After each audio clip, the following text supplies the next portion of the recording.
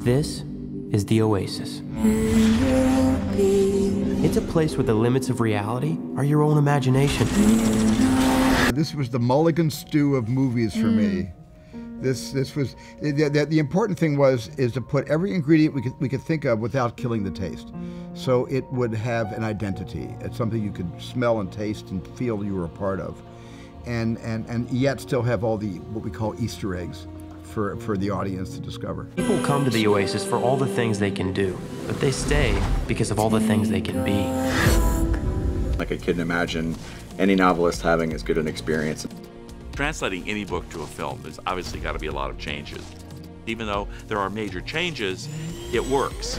Uh, starting out as a screenwriter, uh, I, I, was prepared for that. The whole time I was writing Ready Player One, it was uh, uh, well, it was kind of uh, a project that I started out of frustration as a screenwriter. I wanted to try writing fiction so I would have more control over my story and my characters. And, and I assumed from the beginning, once I kind of came up with this idea of mashing up all of pop culture in this virtual world and paying tribute to all the different facets of pop culture that I love, I knew right away, well, you, you can do that in a book, uh, maybe, uh, but you can't do it in a film because you would have to license all of that. And you know, uh, the only uh, you know parallel I could think of, uh, other example, was Who Framed Roger Rabbit, uh, which Steven made happen through you know uh, his powers of persuasion. Everybody was uh, excited to let him use their different animated properties for that movie, and the same same thing kind of played out with Ready Player One, and everyone was enthusiastic to have well, that IP. Also, yeah. because Ernie is a screenwriter, I mean, one of the first things he said to me is, "We, you, we have to change the challenges. They're not going to translate the way they were."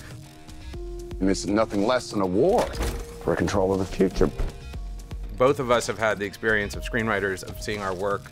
Let's let's be polite and yeah. say not come out exactly as perhaps we intended. butchered. Uh, you could say butchered. I like to say. Uh, finely sliced too yeah. much. Um, no, but in any event, to, to have someone who is prepared and is steeled for that and is ready for you to give him much worse news. Like, oh, guess what? It's not the Oasis. It's actually, uh, yeah. you know, it's, it's, all set on ice now and it's a musical. Whenever Steven and I or any of us were debating what should we do here, which way do we go, we'd call Ernie and say, what do you think? What what would it be in your universe? And sometimes he'd say, whatever works best for the scene. And sometimes he said he would say, "This is my opinion," and it was like, "Good, okay, that's our tiebreaker because it's his world." I don't think we had one real disagreement. I mean, in fact, there was many times where there were things that Ernie and I agreed on that we would gang up on Steven about and really and then lose. Um, yeah, he has final yeah. final say. Even but, four of us do not equal one of him. It, so. It's true.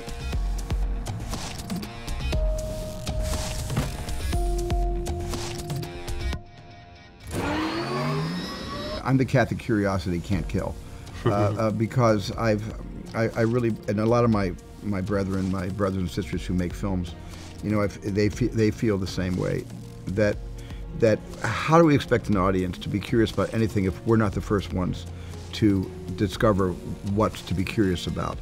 And, and that's what every movie I've ever made is because I've had a curiosity about the subject matter, a curiosity about the, the character that we're that we're doing a biography about. I've been curious about Abraham Lincoln. I'm curious about extraterrestrials, so I made two alien movies. I've been curious about what is a hero. What what how do you define heroism? And so Indiana Jones is a hero, but so is Celie in The Color Purple. She's also a great hero heroine. And so curiosity is the beginning of everything. Are you willing to fight? Help us save the Oasis.